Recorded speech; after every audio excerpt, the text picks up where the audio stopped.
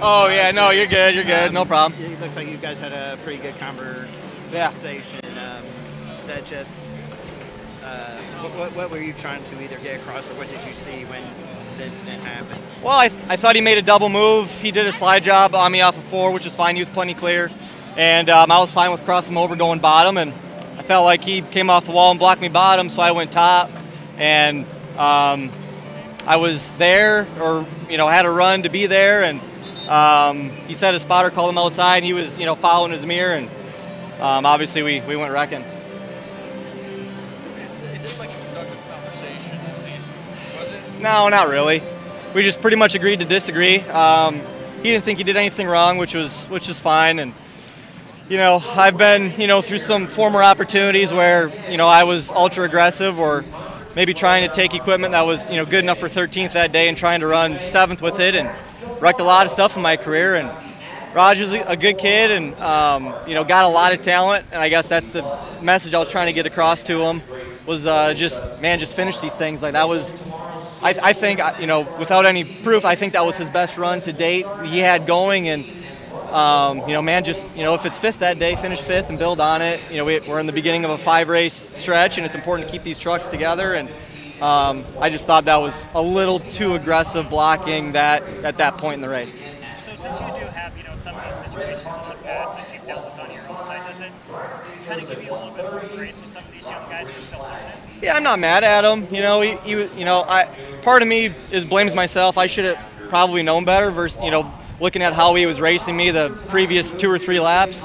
Um, but at the same time, it's I thought I had a truck capable of winning. We made good adjustments and won that stage, and um, so I wanted to get all I could get. I didn't want to give up a spot. It's so hard to pass in these trucks, and it's it's hard to just lift for a guy when you know when I, I felt like I was better than him at that point. So, um, yeah, obviously looking back, I, I wish I, I would have lifted for him, but at the same time, he was being ultra, ultra aggressive with the blocks. Now that we're halfway through the regular season, what's your overall thoughts on how the season's gone thus far for you and your team? All right, Rajah, can you talk about what, what was discussed between you and Ty Majeski there? Yeah, just kind of agree to disagree. He felt like I double moved, and I don't think I did. I felt like I just I picked the top um, just to not give up my right side. Good job, dude. Um, yeah, I mean it was just one of those races, man. It's just just tough. You finished one. I can't seem to finish I'm sorry, I? buddy. You're good. Good job. Um, I mean, just agree to disagree, right? He's the veteran, and um, a couple years ago, right, he was in the spot that I was in, just trying to make a name for yourself in this in this league in the series, and um, with how long it was to go. Like on TV, you know, I was a little mad, but looking back at it, it was still 70 laps to go. So I definitely could have just sucked it up there and gave up the spot, and you know that could have been us because I felt like we would have blown by those guys with the new tires there when we got going. So I just I'll just keep my head up and keep digging for the next four weeks, but really stinks.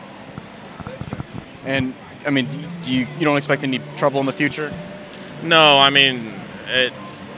It's good there to, to have respect from them guys. Um, because luckily, like we, the truck had speed tonight, and I was doing the best I could, and um, I don't expect that. Um, he said he wouldn't. I don't expect that. I'm not going to do anything different. Besides, like you know, awareness there of how long it was to go, and not to end up with a wrecked truck. So, don't think anything else will come of it. But before that, you were still running up in the top five. You had a really great speed. I mean, how much confidence does that give you, knowing that you had a speed that could possibly contend for a win there? Um, I mean, the confidence has been there all year. Uh, it just hasn't all come together, and it was close to tonight, but uh, just user error there. So keep on digging and kick ass at Darlington. And then Grant Enfinger wins today. What does that mean for this team? It's great for the team, um, especially with this week. Like, you know, I told a lot of people my world got flipped upside down with them switching in, um, not knowing what I'll do next year. So uh, it's great for the team to, to, keep focused, and I know my team's going to be even more hungry now. Um, because, like I said, that could have been us. I felt like we would have been a lot better running the fence, and uh, just the L I have to take tonight, unfortunately. Thank you, Rajah. Better luck next week. Hi, this is Steven Stumpf. Make sure to hit that subscribe button. Uh, check out the two videos beside me, and for more racing content, visit frontstretch.com.